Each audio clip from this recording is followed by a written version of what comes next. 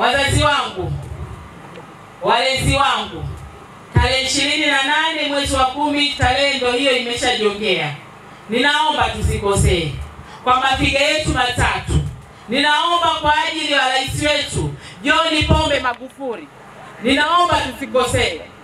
Ninaomba kwa ajili ya rais wangu, yule ni buldoza, kama ameweza kumteua Japhet Kailonga Asuka kutoka Iyula, sisi ni wakina nani? Ninaomba mkampe kula za ndio wote.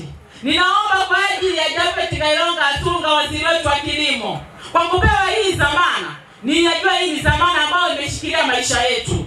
Bila bila chakula hatuwezi kuishi. Huu ni ukweli ambao usiopingika. Kwa rais kumwamini na kumpa hii wizara, ninaomba sisi kama Wanaigale kwa ajili ya wana wetu wa Pahaya tusimwache. Ninaomba kwa mtoto wetu kwanza, naomba tusimwache, kwa sababu tunachonga kwingine kule, inaonekana huu ndio ukoo wenyewe ambao umepata kibali. Naomba tusiwaache. Mwewe mwe ishi mwewe